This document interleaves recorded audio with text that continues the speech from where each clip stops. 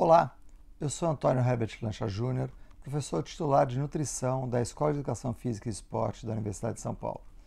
Eu falo direto aqui do American College of Sports Medicine, que esse ano acontece em Orlando. Na data de hoje, nós tivemos a Presidential Lecture proferida pelo professor George Brooks. O professor Brooks é um especialista no, no tema lactato, desde o começo da sua história como atleta ao longo de toda a sua carreira como docente universitário. Ele demonstrou que, no início dos seus estudos, o lactato era visto como um bandido da história, aquele que provocava o cansaço, a dor muscular. Alguns autores até sugeriam que ele era responsável pela câimbra. Hoje nós sabemos que esse não é o papel do lactato. Pelo contrário, ele é o mocinho da história e não o bandido.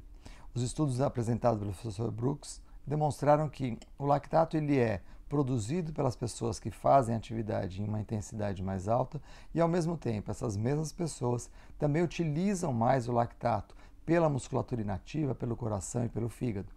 Assim, as pessoas que vivenciam atividades de alta intensidade têm também uma capacidade de remoção desse lactato produzido pela musculatura. Um outro ponto levantado pelo professor Brooks foi em relação à cognição.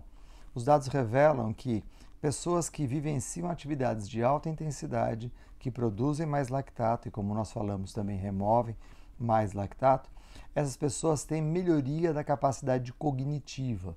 Ou seja, é importante para que a gente mantenha a nossa funcionalidade mental no processamento de informação, experimentar atividades de alta intensidade também. Um outro ponto foi a questão do lactato para pacientes em terapias intensivas. O lactato, quando ele é, é produzido pelo organismo, os tecidos periféricos utilizam também.